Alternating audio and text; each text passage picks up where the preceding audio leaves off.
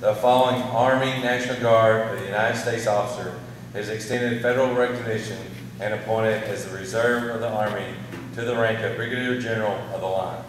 Signed, Joseph L. Lengyel, General, Chief, National Guard Bureau. At this time, the new rank insignia will be pinned on Brigadier General Howay.